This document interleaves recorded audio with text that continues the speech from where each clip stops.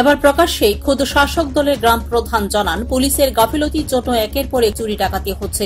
আবারও গভীর রাতে ধারালো দা দিয়ে ঘরের জানালা দরজা, টিনির বেড়া কেটে ঘরের ভেতরে ঢুকে মারধর করে নগদ টাকা পয়সা লুটপাট করে পালিয়ে যায় দুষ্কৃতীরা। ঘটনার সাথে সাথেই থানায় খবর দেওয়া হলেও বারো ঘণ্টা অতিক্রান্ত হবার পরেও পুলিশ ঘটনাস্থলে আসেনি বলে খোদ শাসক দলের প্রধান জানিয়েছেন। ঘটনা কৈলাসহরের চণ্ডীপুর গ্রাম পঞ্চায়েতের পাঁচ নং ওয়ার্ড এলাকায়। কৈলাসহরের গুলধারপুর গ্রাম পঞ্চায়েতের ঘটনার পর কৈলাসহরের চণ্ডীপুর গ্রাম পঞ্চায়েতের পাঁচ নং ওয়ার্ড এলাকায় এই ঘটনা ঘটার পর গোটা কৈলাসহরে তীব্র আতঙ্ক বিরাজ করছে।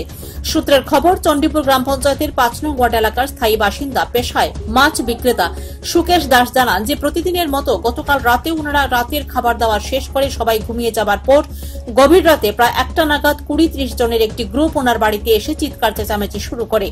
চিৎকার চেঁচামেচি শুনে ঘরের পুরুষরা ঘরের পেছনের দরজা দিয়ে পালিয়ে যান। ঘরের ভেতরে শুধু মহিলারাই ছিলেন।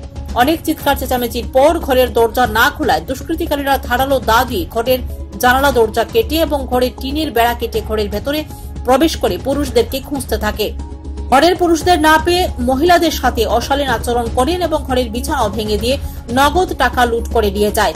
সুকেশ দাস জানান যে, গতকাল বিকেলে ওনার একটা পুরনো গাড়ি দেড় লক্ষ টাকার বিনিময়ে বিক্রি করে সেই দেড় লক্ষ টাকা ঘরে রেখেছিলেন। সেই দেড় লক্ষ টাকাও দুষ্কৃতিকারীরা নিয়ে যায়। ঘটনার সাথে সাথে সুকেশ দাস কৈলাসহর থানায় কয়েকবার ফোন করে জানালে থানা থেকে জানানো হয়, খুব শীঘ্রই পুলিশ আসছে। কিন্তু রাত শেষে সকালেও পুলিশ ঘটনাস্থলে আসেনি।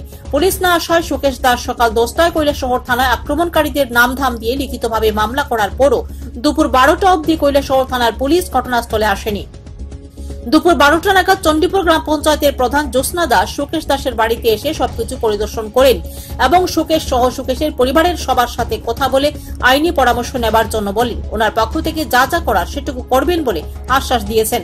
যাবার সময় সংবাদ প্রতিনিধিদের মুখোমুখি হয়ে ঘটনার তীব্র নিন্দা জানান এবং প্রধান জ্যোৎস্না দাস এও বলেন যে যে বা যারা এই কাজে যুক্ত তাদেরকে পুলিশ অবিলম্বে গ্রেপ্তার করে উপযুক্ত শাস্তি প্রদানের দাবি রাখেন তিনি।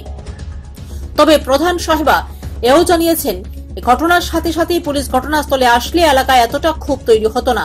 শাসক দলের প্রধান জ্যোৎস্না দাস প্রকাশ্যেই জানান যে পুলিশের গাফিলতির জন্যই একের পর এক ঘটনা ঘটে যাচ্ছে আমার কাছে সকালবেলা সুকেশ দাসের মা গেছে।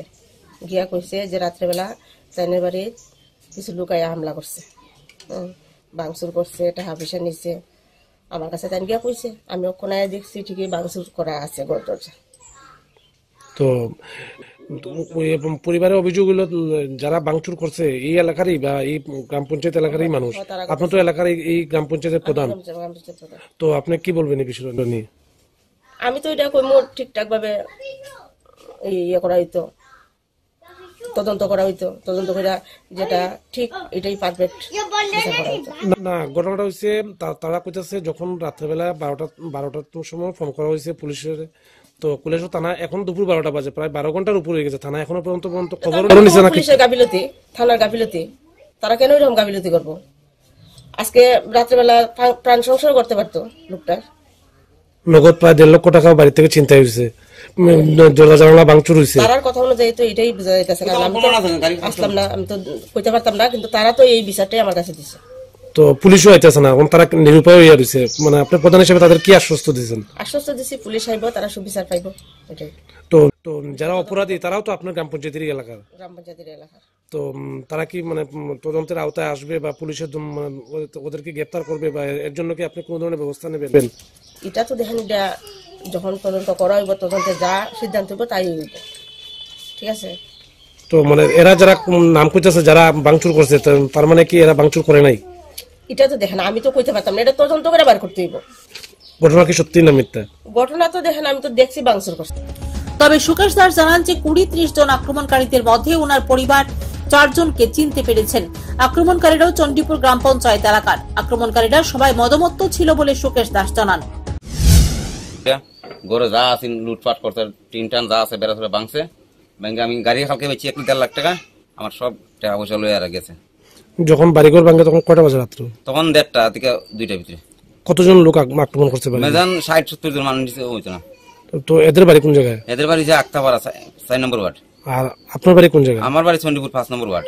সবাই এক গ্রাম পঞ্চায়েত এলাকায় একই গ্রাম পঞ্চায়েত এলাকার মানে মূলত মানে আপনি কি মনে করেন কে লেগে মারছে তারা?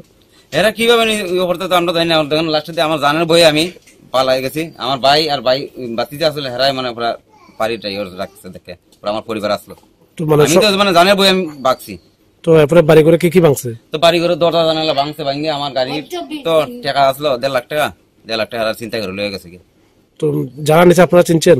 ও তো আমরা চিনছেরা। চিনা পরে আমার কইছে অতজন মানুষ আইতো এরা ঘর ঢুকে চারজন ঢুকে সেরা টাকা পয়সা ই করছে। কারা কারা এই ও তো আছেন গাড়ি এই আছেন এই কুটি দাস সবুজ দাস এই জল্লাল দাস স্বপন দাস এরা চারজন।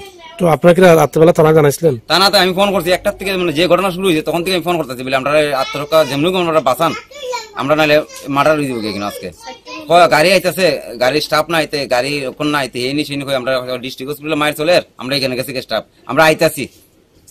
ওই পর্যন্ত এখনও রাত্রে একটার থেকে এখনও তো একটা বাজে কিন্তু এখনও তো আইতেছে এরা। তো আপনি কি এরকম কালকে রাত্রেবেলা বা আজকে সকালে কি থানায় লিখিত দিয়েছেন? তা না তো আমি লিখে দিয়েছি নটার সময় গিয়ে লিখিত দিছি সময় আমি লিখিত জমা দিয়েছি। এখনও তো আমার কাছে যাও আমরা আইতাছি। এখনও পর্যন্ত? আইছে না। আমি সুষ্ঠু বিচার চাই। এভাবে শোকের দাসের মতো নিরীহ পরিবারের উপর আক্রমণের ঘটনায় শুভবুদ্ধি সম্পন্ন মানুষরা তীব্র সমালোচনা করছেন। কৈলাস শহর থেকে দেবাশীর দত্তের প্রতিবেদন নিউজ বাংলা।